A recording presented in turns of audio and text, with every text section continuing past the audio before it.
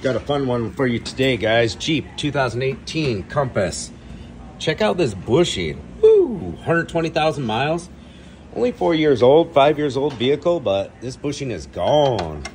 Some rough riding. And this is rust-free vehicle, but the whole control arm, right now it's shoved forward. It With a pry, it will shove this way. So every time you hit the brakes, it goes ka-chunk, ka-chunk control arm comes forward and backwards. It's a problem I see every once in a while around here where your whole tire j- just kind of jerks forward like this every time you hit the brakes. If you're having that problem, you know, that's what it could be.